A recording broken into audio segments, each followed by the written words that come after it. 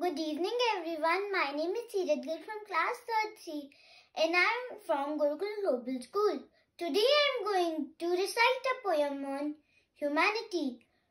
We were born as equals, nothing more than Stone Age people.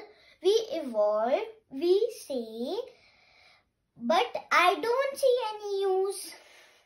The light bulb is about to diffuse. We pray to God to solve our problems, but then we divide her or him. So tell me if a torch is broken, wouldn't its pieces be dim?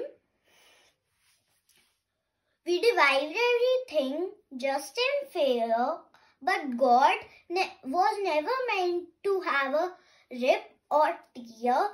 I myself am talking like God is a thing, but I should know that He, she is beyond caste, religion or gender. Somewhere in my heart, lingering.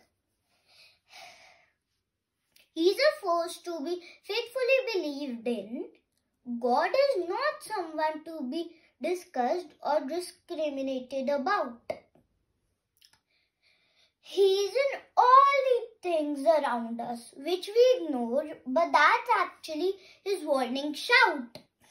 Remember that when we die, there'll be no one to remember us as Hindu, Muslim, Sikh or Christian. We all will be remembered as what God made us, a soul-bearing human. Thank you. Have a nice day.